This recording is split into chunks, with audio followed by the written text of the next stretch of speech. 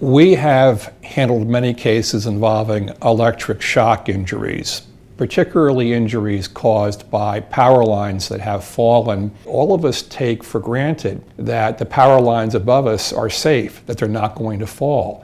And we've seen over and over again power lines that have been improperly installed or improperly maintained, and people have been horribly injured or regrettably killed. One such case involved a verdict of $109 million against a Western Pennsylvania utility involving a power line that fell and killed a 39 year old housewife in front of her two children and her mother in law. That case involved a massive investigation of the power company and what they did wrong and what caused the line to fall. These cases are defended very vigorously by the power companies. They have enormous assets and resources to bring to bear on the defense of these cases. We've been able to put together a phenomenal team of experts in power line injuries to explain not just how the accident occurs, why the line falls, why the line has been defective, why there's been a harm, and as well, what's needed by way of remediation, what's needed to make sure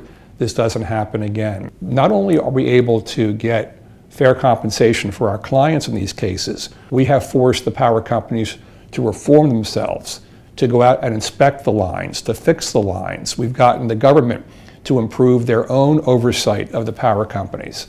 And that's vitally important, not just for those we represent, but also for the entire community.